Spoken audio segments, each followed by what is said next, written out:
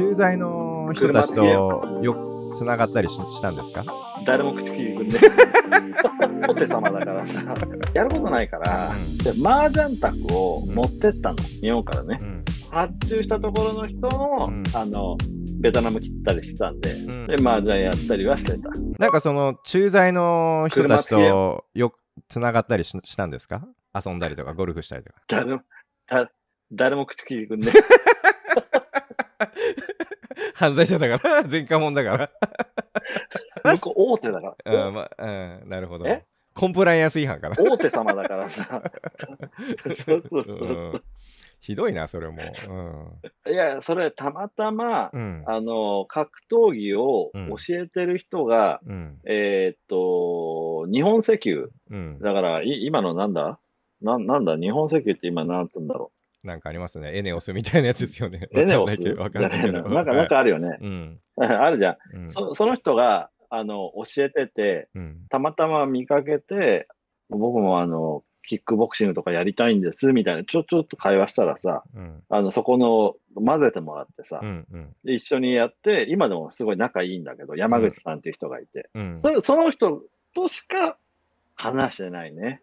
あ、じゃあ他に、あおでも他に日本人とかとなんかつるんだりしなかったの？面白い若いやつとかなんか、ヒッピーみたいなやつとかいなかったの？うん。うん。それはね、うん。いた。いた？ど、どんなうん。感それはいて、バー、バーやってる、バーやってるお兄ちゃんとか、じうん。日本人現地人？なんか流れてきた人とか、日本人だけど、うん。ベトナムで唯一や日本人がやってるバハノイでね。うんうんでそそそこはあのもう日本人のたまり場みたいになっちゃって、うん。はいはい。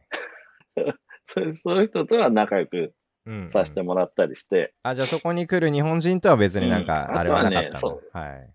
うん、まあまあ、でもそこまでね、あの仲良くなったっていう人はいいないね。あ、あとね、なんかあの、ダーツバー、あのそそれは本当オーセンティックな、まあ、バーだったんだけど、なんかやることないかうら、ん。で、で、麻雀卓を持ってったの。日本から。電動、麻雀を。うん。うん。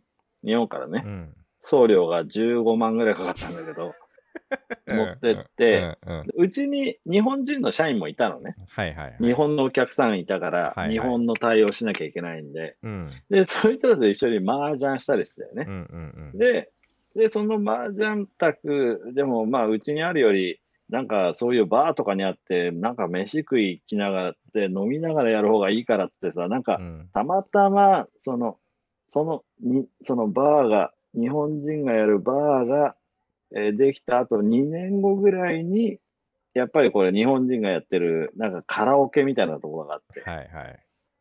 うん、そこに麻雀卓持ってって、うん。これ置かせろと。うん。置かせろっていうか、タダで使っていいよっつってうん。言ったの。それで、なんかそこ行っちゃ麻雀やったりはしてたね。え、4人、他に3人メンツがいたの？